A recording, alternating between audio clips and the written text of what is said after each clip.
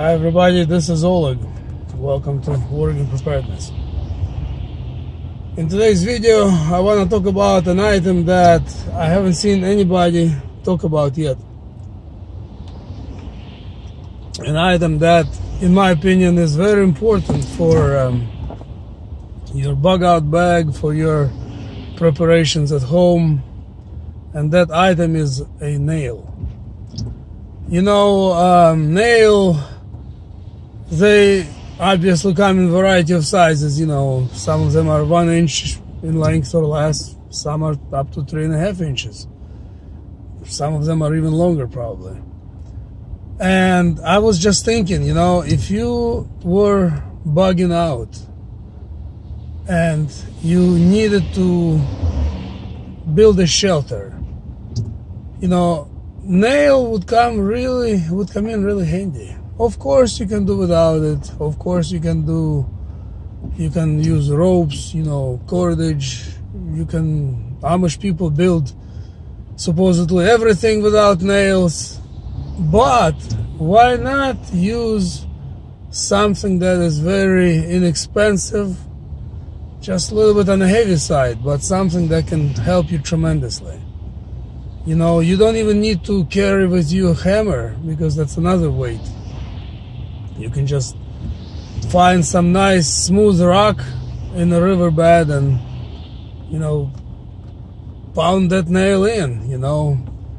And it can be useful for building your shelter, building, you know, just hang a rope between two trees. And like I said again, you can do all that without uh, without the nail, but with nails everything will just become much stronger you do it faster you know you can um, you can use it for other things like um, let's say you needed to make a spear you know you could put a couple of two or three you know three and a half inch nails on the end of the stick you know tied up and there is some sort of weapon in your hand, you know. And you know, if you really think about it for long enough, I'm sure you'll find probably dozens of uses for the nails. So, needless to say, I think uh, you definitely must have a variety of nails in your home preps, ranging from one inch to three and a half inch. They're very cheap, you know. Box of nails costs just a few bucks. You know, they're cheap and definitely I would personally put and I'm going to put in my bug out bag I will put um, a couple of different sizes of nails. You know I'm gonna put smaller one and a bigger one. Even though it's gonna weight you know one one and a half pounds of weight you know put small small box you don't need to put giant five pound box just one pound bo box but it will probably serve you really good in an emergency.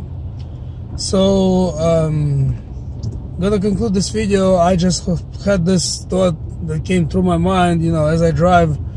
And as I mentioned before, I drive a lot, and you know, weather is bad, rain and snowing. And you know, I talk on the phone a lot, but I, but I also think a lot.